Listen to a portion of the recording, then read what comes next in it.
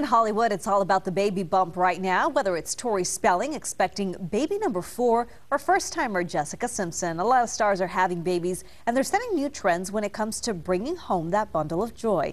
Here to talk about some of those latest trends in uh, babydom, everything from push presents to gender cakes and bachelor parties. All right, that's uh, mom and parenting blogger Beth Feldman. Good morning, Beth. Thanks for being with us.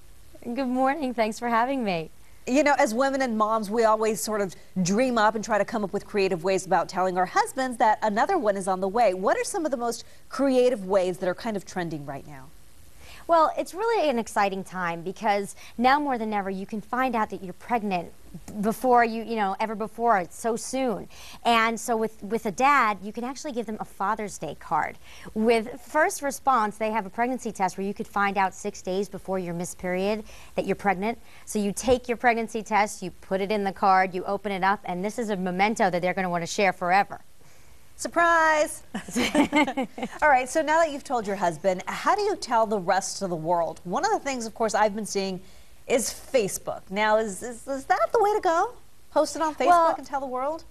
Well, you know what? It's something that people are just conditioned to sharing now. They share everything. Right. People even change their profile picture on Facebook to show the pregnancy test. You can tweet your lines uh, on Twitter, and then when you go for the first sonogram picture, you can pin it on Pinterest so that the whole world can see your baby. So, so how are couples celebrating uh, bringing home their brand new baby? Well, this is a fun one. There's there's a new thing called gender cakes where you yes. can go to. It, it's hilarious. You go to, to get to find out what sex you're going to be having. You tell your your technician, "Don't tell me." Seal it in an envelope, bring it to the bakery, and then what you have a party. And when you slice the cake, you find out if it's pink, it's a girl, and if it's blue, it's a boy. And as you oh, can see oh, over here, that. we're having fraternal twins. One of each, you know, I, I don't know that I would want to wait that long. I think I, would be like, all right, just tell me now, boy or girl. I, I know. hey, before we let you go, there's still a lot more tips out there, and this is always a fun topic. Where can uh, moms and dads go for more information or more ideas in case we're planning a baby shower for someone else? Well, go to firstresponse.com because you want to find out from the very beginning how to take care of yourself and your baby. And there's some awesome, great information about all the trends that are going on right now. Sounds good. Beth, thank you so much for, for joining us this morning. Some great tips out there. Thank you.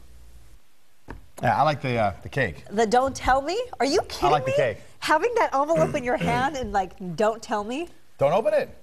How do you not open it? You put it away. you give it to me, I'll go hide it. You know, I'm those people. Give it to me. Like, You'll never see it. For birthdays and Christmas, they have to put like a do not peek until your birthday thing on I it. I was thinking, I, I, was about to think that you were going to say that to put it in a closet, lock it with a padlock. Find it. I find it. I found my husband's Christmas gift for me in the garage. Coming up.